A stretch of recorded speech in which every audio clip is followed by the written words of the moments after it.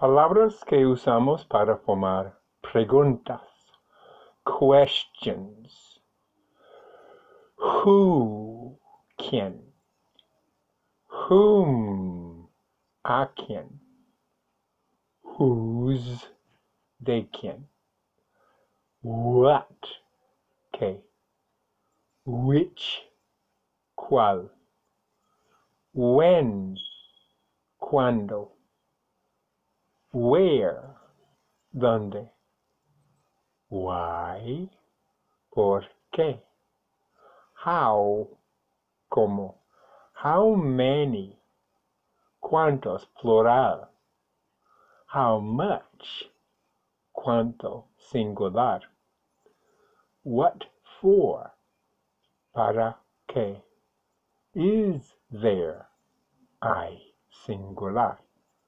Are there, I, plural.